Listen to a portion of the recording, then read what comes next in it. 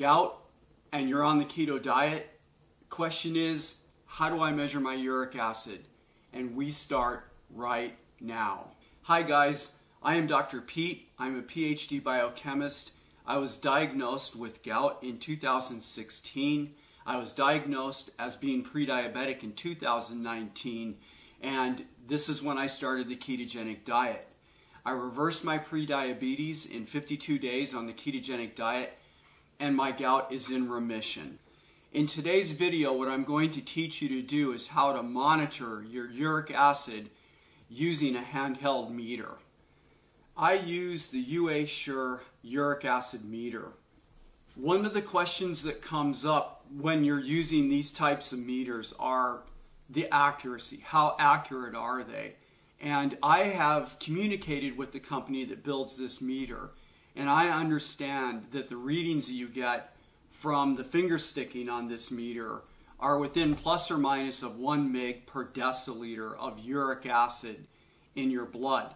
Keep in mind that what I'm going to teach you about taking a reading off of this meter, if you were pre-diabetic or you had some sort of combined metabolic condition with gout, then more than likely you're also going to be testing your blood glucose and perhaps your ketones, which I recommend if you're on the ketogenic diet. So the basic principles that you're learning here hold up also for blood glucose and for the ketones. All right, first some quick details on this meter. I'm going to turn it around here. You can see this green key that is at the top. When you buy the strips for this meter, they come in a box that looks like this. And inside this box will be a key.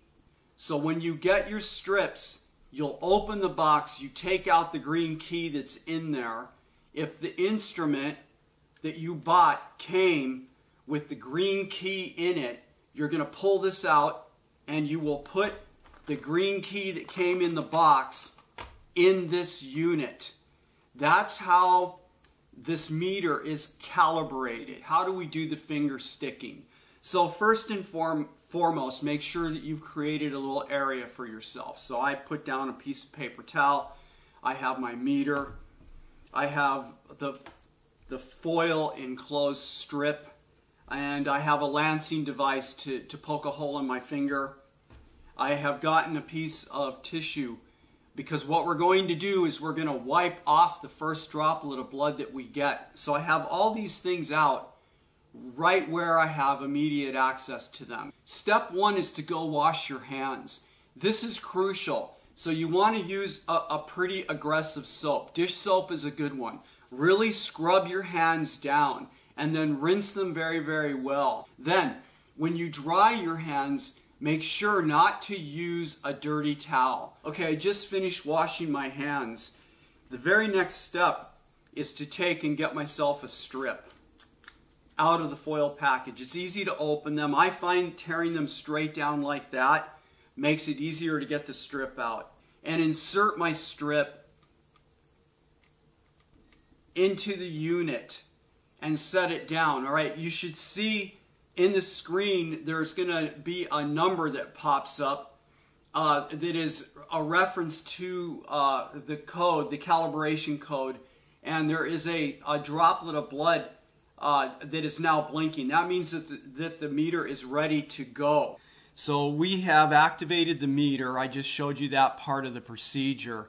And now what I'm going to do is take the lancet and I'm going to poke a hole in my finger. So first I cocked it and then I usually will use my uh, middle finger and off to the side. Um, and let's just see how this goes to get a good blood droplet. All right, and then what you're going to want to do is just literally squeeze some blood out. Um, hopefully you can see the size of the drop. And now I'm going to take my uh, tissue and I'm going to wipe the first drop off of there and then generate a second drop all right? And this is to make sure, and sometimes I'll do this two or three times, but this is to make sure that we get a clean sample of blood. And then notice I'm keeping my hands still on the surface of the table. And I'm going to pick the unit up that has the opening for the blood and then hold it down so that it touches the surface of the droplet. I think you can see the blood is up in, in the strip itself. It's filled the, the gap that's in there.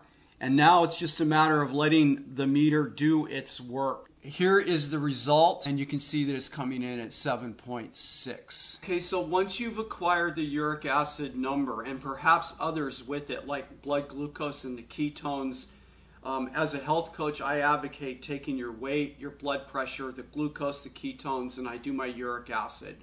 And I've been tracking these biomarkers now for uh, three years. And basically, I'm old school because I'm 63. I, I publish my, my numbers in, in a diary, right, in a logbook. The overarching consideration, the overall reason for measuring uric acid is because you've been diagnosed with gout. So it should make sense to you to want to know what the relationship is between the, the amount of uric acid in your blood and your daily, monthly, and even yearly existence. So let's break this down into specific considerations. Consideration number one is to understand how your uric acid fluctuates over the course of a day. Mine is high in the morning and it decreases over the course of the day and is lowest right before I eat dinner. Consideration number two, you can use this meter to test different foods. What do you do? Let's say I'm about to eat breakfast, so I measure my uric acid like I just did for you in front of the camera, and I write it down. And then I eat my breakfast. Maybe it's a few eggs, maybe I put some bacon in there, right? And I eat that breakfast. And then I want to know what's going to happen to my uric acid, right? So I test at one hour and two hours after eating the meal.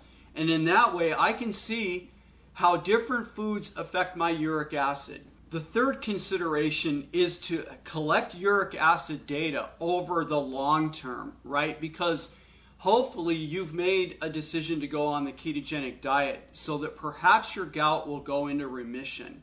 So it's, it's important to track your uric acid. Because as I've explained in other videos, when you first go onto the ketogenic diet with a, uh, in terms of a gout sufferer, your uric acid's going to rise. And how much does it rise? Well, if you're measuring uric acid using a meter, then you're going to know. You're going to be able to track the rise. You're also going to be able to see when, when the rise terminates and the uric acid starts coming down. And then important to you will be to see where that uric acid plateaus. My uric acid plateaued and was constant at a constant value for over a year at 8.5. This will allow you to then consider what your medical options are, right? You can talk to your, your doctor and you literally can show them the logbook, which is what I have done actually and you can show them. I, I showed my doctor three years worth of uric acid data, and I said, "This is where I'm at now. What should I do?" You know, I was at the top uh, at the top of the normal range. Do I go on medication or not? This is a personal choice you're going to have to make. And if you have to make that personal choice, doesn't it make sense to, to make that choice based on data? Questions or comments about what I've taught you in this video, please leave your comments below. Or you can contact me at Dr. Pete at Dr. Pete's Keto Klub, club spelled with a K. If you are new to our channel, please hit the subscribe button and the bell next to it so you know when we are going to post our next video.